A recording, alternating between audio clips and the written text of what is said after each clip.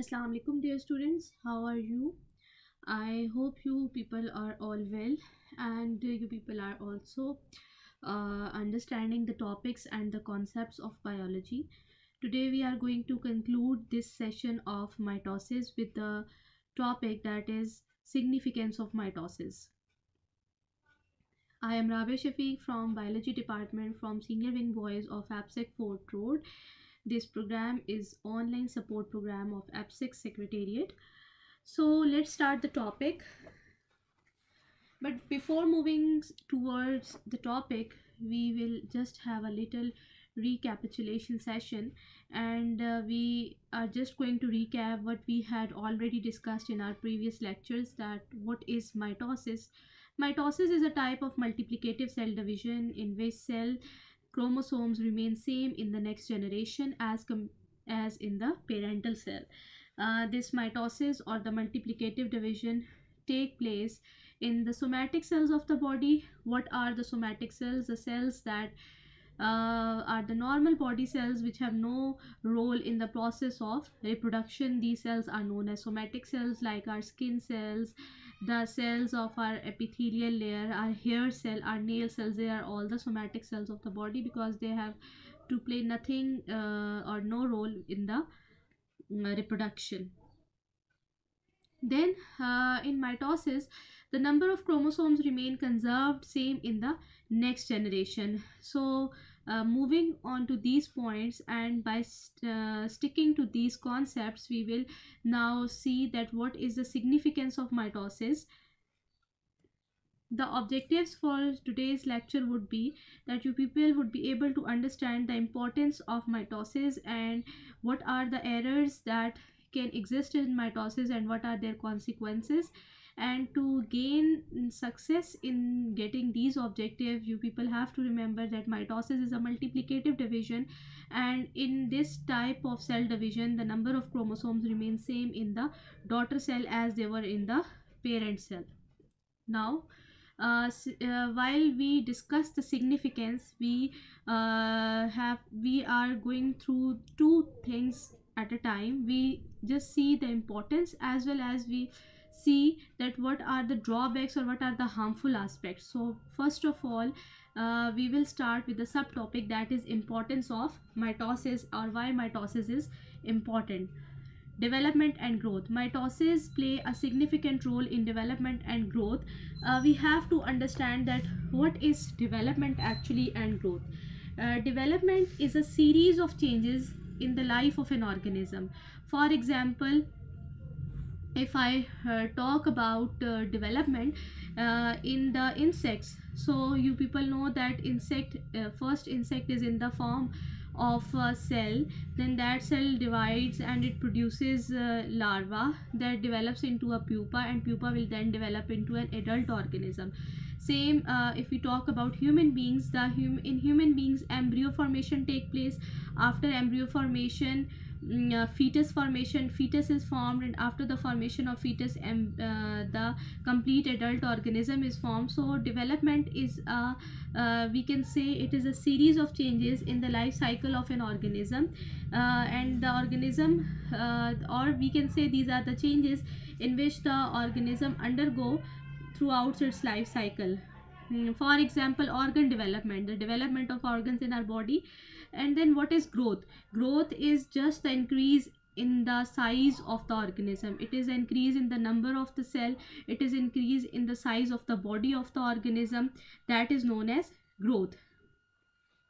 So increase in the number of cell or increases in complexity of the organism that take place by mitosis because mitosis is the multiplicative division and the basis of development of an organism from a single cell to a multicellular body their, their mitosis plays a significant role. For example uh, when two germ cells fuse together they result in the formation of zygote. And then zygote uh, multiplies and it results in the formation of a multicellular body. So uh, the formation of a multicellular body from a zygote that all uh, that all involves the increase of the number of the cell and that increase in number of the cell take place by mitosis. Here we have an example. You can see a plant um, it is in the seedling stage. Then after uh, mitosis or multiplicative division it grows in size and ultimately develops into an adult organism.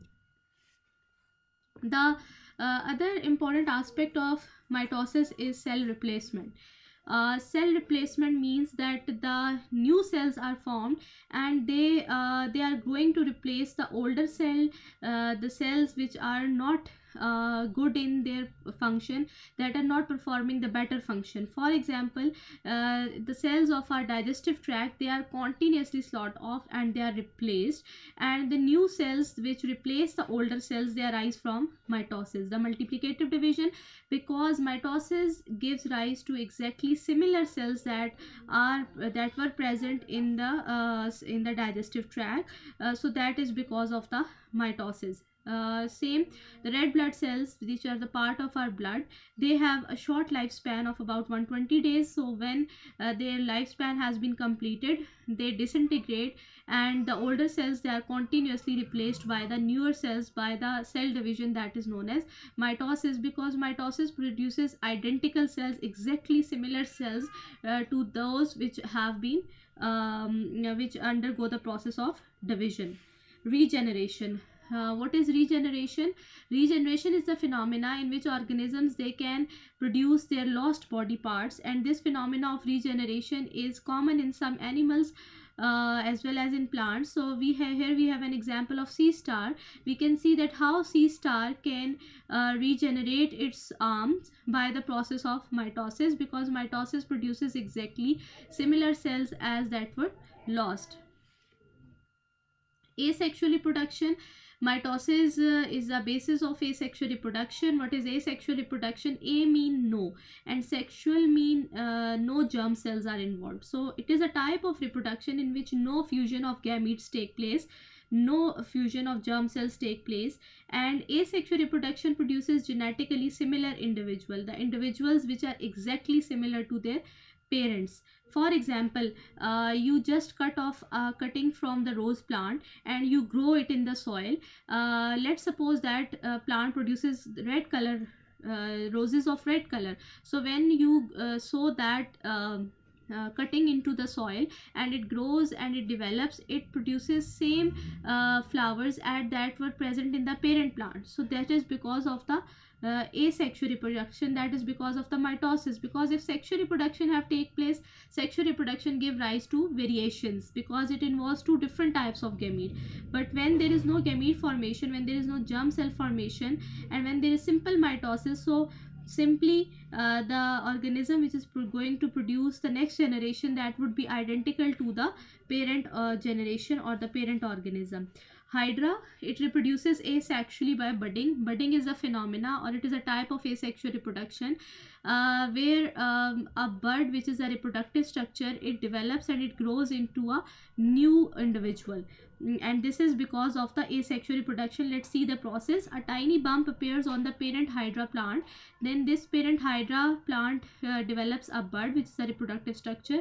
The bud grows in size, it enlarges and it grows in size until and unless it can uh, survive on its own and then this bud breaks off from the parent plant and be become an independent hydra so this is a type of the asexual reproduction or the phenomena of budding in hydra. This is the second part of our lecture that is the errors in mitosis. So if uh, mitosis cannot take place properly or if there are errors in mitosis what would be the consequences? The uncontrolled division of cells that give rise to cancers. Uh, whenever a mass of cell is produced that arise from abnormal divisions or uncontrolled division, it is known as tumor. So uh, tumors, uh, tumors are the basis of cancers. Tumors can be of two types. It can be a malignant tumor or it can be a benign tumor. Malignant, uh, first we will discuss benign tumors. Benign tumors are the tumors which are the masses of cells uh, that arise as a result of abnormal division and they remain in their original location where they are produced. Such type of tumors are known as benign tumor. Sometimes benign tumors are non-cancerous and they disintegrate on their own.